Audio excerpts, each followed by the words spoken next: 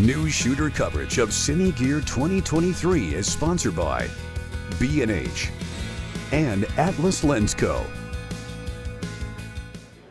Hi, it's Matt here for newsshooter.com at Cine Gear 2023. I'm at the LC-Tec booth with Jasper. Now, this is a it's something you've been working on a while, but this is the latest iteration of your electronic variable ND system that goes in front of lens. Yes, exactly. So we, we had, have been on the market for several years with a small sized filter that is integrated into the cameras. So then we sell OEM, and the camera manufacturer takes care of the integration, the electronics, uh, the, the, mount. Uh, at this show, we are for the first time showing mock-ups of a matte box size filter. So we had took some additional time to develop the larger size. Smaller is easier inside the lens, uh, inside the camera is easier because of not so steep angles. But we go in front, it's a different challenge. But now we are very close to be a level to have a, a, a product that can be launched. What's, what are some of the technical challenges with going from a smaller size to a large size? It's mainly controlling the color. So uh, avoiding color vignetting at short lenses. If you have 16 millimeter lens, um, then we saw it with the older generation, not so much anymore. And also color shift. Yeah. And in terms of um, the amount of ND that this is going to be, you, are going to come up with two different options? Yeah, so the internal one that is already on the market is 0.6 to 2.1. Uh, for the matte box in front of the lens solution, we're thinking a little bit less.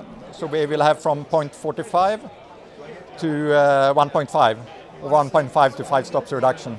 And it's impossible with these type of solutions, isn't it? You can't have zero ND. You're always going to have some yeah, ND. that is correct.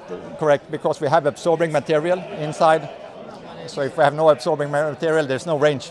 So you need to start at some point and then you have a, uh, can dim it to darker. And the plan is for these to fit into what size um, filters in matte boxes? So at IBC, in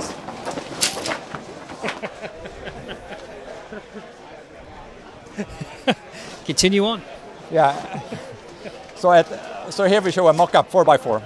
At IBC, we will have it in a tray uh, for 565. We will have uh, drive electronics integrated on the train, on the tray. Uh, different power options from the camera battery. It can be D-tap, it can be two-pin aux, it can be USB-C, so we will provide with different cable solutions. It will have push buttons, changing in incremental steps, one third or one quarter or one half.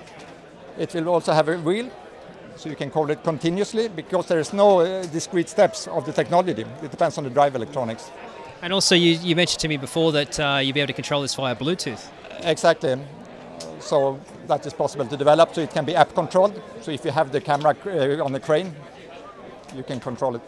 And you were telling us, uh, you know, probably September you're going to have a mock-up version of that, and then for, it'll be for sale for next year. And exactly. and what sort of price are you sort of hoping to get it into? Uh, so we are trying to understand that at this show to find the acceptance level, but maybe between two and three thousand US would be the retail price.